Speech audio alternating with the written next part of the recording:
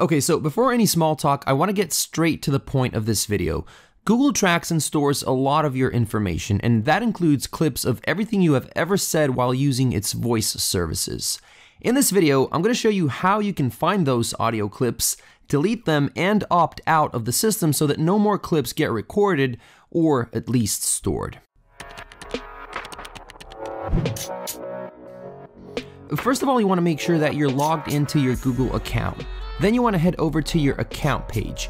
On Android, you can do that by going into your settings, tapping on Google, and then tapping on Google account.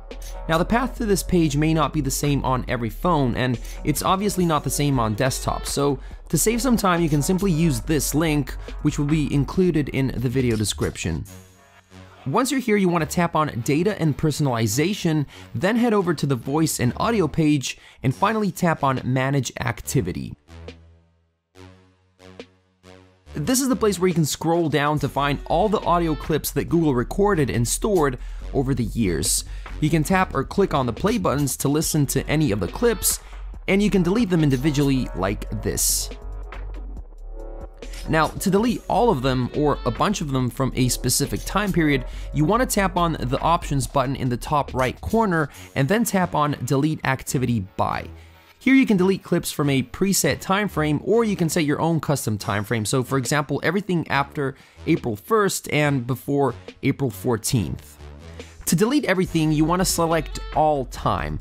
Once you've made up your mind, you're going to tap delete, and then Google's going to give you a few of those messages that are intended to make you doubt yourself. But since you're persistent, you're going to click OK on everything it throws at you.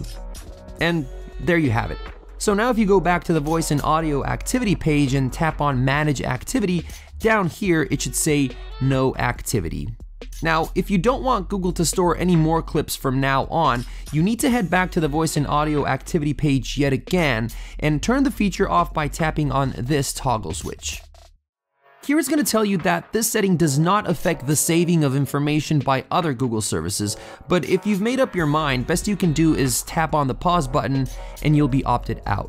Have in mind that this can affect some Google Assistant features. For example, here you can see that it's not letting me use the OK Google command without agreeing to the terms of service, and if I do so, it will eventually ask me to turn the voice and audio activity back on. So it's a trade-off, but I guess it's all about what you prioritize privacy or convenience.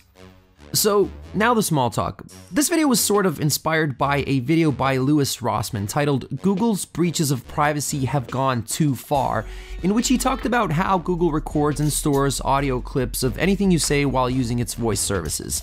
This is something I personally have been aware of for quite some time, and if you have any sort of online presence which includes a Google account, then you've probably heard about this stuff too. Information is the main fuel for Google's operations, and the more they can get, the better they can be in making and improving their products, and ultimately in making money, which is the end goal for any business, let's be real. My philosophy has always been sort of like, I really don't have anything spectacular to hide. I'm deeply invested in the whole Google ecosystem, and if tracking my online activities is going to make my user experience better, then I really don't have a big issue with that.